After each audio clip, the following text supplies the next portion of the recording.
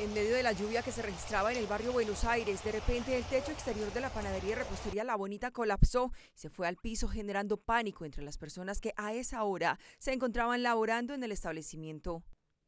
Por fortuna, la parte exterior de la panadería estaba desolada y no hubo afectaciones a personas. De acuerdo con el reporte inicial de los organismos de emergencia, la caída de esta cubierta se habría presentado por daño estructural.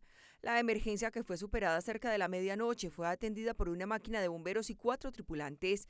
La emergencia se registró en la carrera 27 con 45.